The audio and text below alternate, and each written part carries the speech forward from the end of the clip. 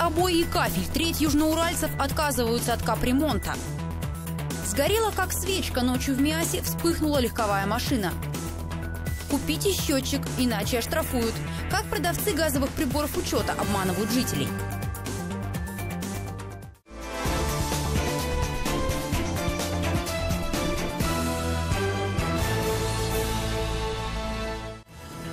Здравствуйте, в эфире «Время новостей МИАС». С обзором событий вас познакомят мои коллеги и я, Ирина Горностаева.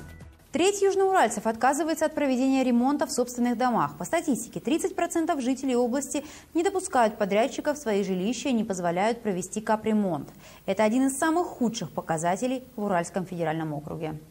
Сейчас разрешение на допуск в квартиру регоператор получает при помощи суда. Однако количество тех, кто отказывается, значительное – более тысячи домов. Данные по МИАСу от средних по области практически не отличаются. В основном жители отказываются от капремонта систем канализации. Боятся, что ремонт в уборных внутри квартиры придется переделывать. Перекладывать поврежденную плитку, к примеру. Обратиться в суд по каждому из случаев просто невозможно. Это проблема, которая является бичом, по крайней мере, в Челябинской области точно абсолютно. Вот. И с этим надо что-то делать. Я понимаю прекрасно, что это, наверное, не наш уровень ответственности, но тем не менее собрать общую информацию и транслировать ее на, на уровень тех органов, которые могут принять такие решения. Сегодня своим опытом в решении подобных проблем с южноуральским регоператором поделились другие области Уральского федерального округа. Например, в Тюменской области, лучшей по показателям сборов, проблему решили благодаря масштабной программе по информированию населения. А помимо того, что разъяснительная работа в начале и в течение, также у нас колл-центр работает а, на территории Тюменской области. Ну, сейчас, конечно, это и претензионная работа. Это следующая часть э, нашего, нашей работы, когда люди, получая уже и пение, и штрафы, понимают, что ну, платить взносы необходимо. Будут ли применять подобную программу на Южном Урале, пока неизвестно. Эти и другие проблемы регоператоры обсудят на третьей ежегодной конференции регоператоров капремонта Урала и Сибири, которая пройдет в Челябинске. В Машгородке поздним вечером вспыхнул автомобиль, полностью сгорел за считанные минуты. К счастью, водитель успел выпрыгнуть. Полыхающую машину сняли на мобильные телефоны очевидцы. Видео сразу разлетелось по социальным сетям. Давайте посмотрим. На видео, снятом очевидцами, полыхает и взрывается машина. Местный житель Максим Худяков в это время вышел на балкон, обратил внимание на автомобиль. Он двигался в сторону автозавода, но резко свернул во двор. Затем водитель выбежал из машины и через пару секунд она вспыхнула. Максим сразу позвонил в единую диспетчерскую службу по номеру 112. Сперва шел дым, и резко полыхнуло пламя. Сосед у нас тут живет, вот он, э, видимо, в этот момент выезжал, и подъехал как раз, вроде как за огнетушитель. И ему все закричали, беги отсюда, бросайся, беги. Ну, буквально он только отъехал, и тут началась бубух-бубух. Причина возгорания неизвестна, но специалисты предполагают, что проблема была в проводке. Автомобиль сгорел за несколько минут, к приезду пожарных уже догорал. 26 июля около 22.30 поступил звонок э, на подразделение пожарной охраны о возгорании автомобиля э, в районе дома 81 по улице Макеева. Значит, сгорел автомобиль Ford Focus. Э, в настоящее время причины выясняются э, органами дознания. Сгоревший автомобиль до сих пор стоит на том же месте. Жители соседних домов раньше таких машин во дворе не видели. Личность владельца сейчас устанавливается. В МИАСе участились случаи, когда сотрудники неких коммерческих фирм навязывают жителям услуги по установке газовых счетчиков. Многократно завышая реальную стоимость газовых приборов, они ссылаются на требования законодательства и необходимость их установки. При этом на учет все эти счетчики они часто предлагают своим клиентам поставить уже в других организациях организациях, имеющих законную лицензию. Что это, обман или просто навязанная услуга, выяснил Михаил Тютев. Доверчивые горожане, а в первую очередь это, конечно, люди преклонного возраста, часто поддаются на уговоры и приобретают газовые счетчики, причем по расценкам, которые значительно превышают реальную стоимость приборов. И хорошо, если им повстречается не наивный и неосведомленный пенсионер, а такой бдительный, как, например, Лидия Агафонова. Для своих сверстников она, пожалуй, явный пример, как вести себя в ситуации с непрошенными и неопознанными газовиками. Приходили к нам как будто бы из газа, от газа, э, там этой. А они не от газа. Потому что я позвонила туда, нам, мы, мне так ответили, что мы никого не посылали. А некоторые уроки Лидии Георгиевны, ее миасским сверстникам сегодня, явно можно взять себе на заметку. Даже у нас здесь вот по, на втором этаже женщина умерла от этого, от обманства, она не выдержала. Вот вам надо тоже счетчик поставить. И ей поставили счетчик. Она деньги заплатила. Но когда ей сказали, что вас обман... Я говорю, зачем вы им открываете двери? Зачем? Не надо. Позвонили они вам домофон или что? Говорю, не надо открывать. Мы вас не вызывали. Между тем, по словам специалистов, требования по обязательной установке газовых счетчиков в многоквартирных домах неправомерны. В соответствии с требованиями действующего законодательства, установка индивидуальных приборов учета газа необходима лишь в индивидуальных жилых домах, которые отапливаются с использованием газового оборудования.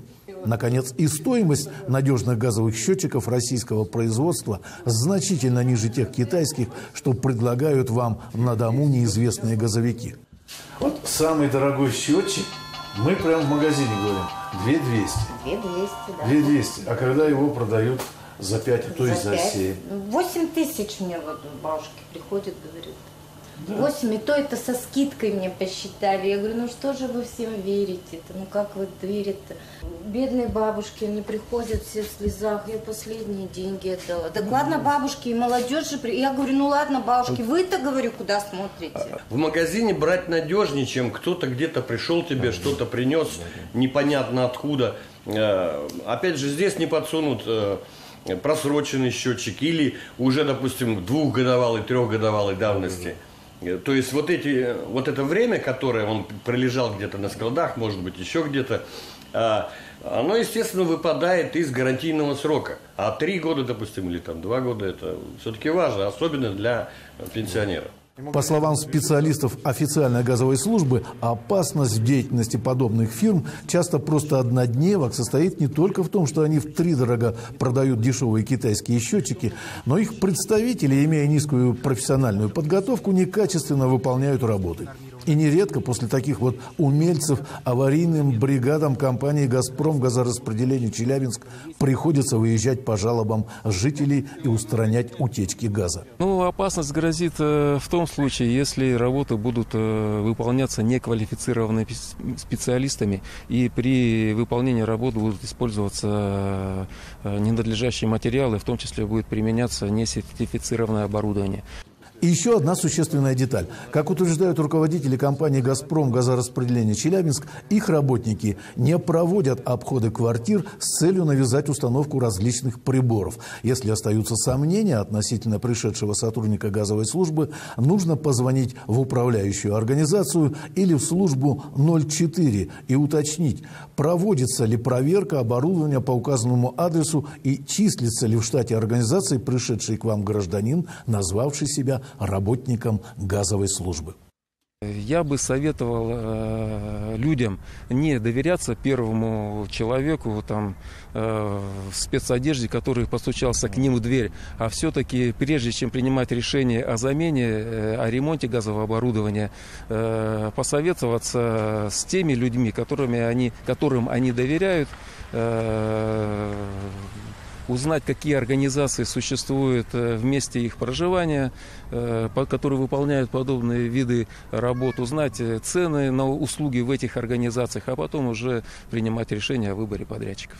Михаил Тютев, Юрий Карпов, ОТВ МИАС. Многие дети и подростки любят плавать на озерах и реках, но про правила безопасности на воде зачастую забывают, а в критической ситуации теряются. Сегодня в лагере имени Зои Космодемьянской спасатели наглядно показали, как помочь тонущему человеку и не паниковать. Вода прохладная, в такую... Не, я бы купался в воду, но девочки у нас в воду боятся заходить.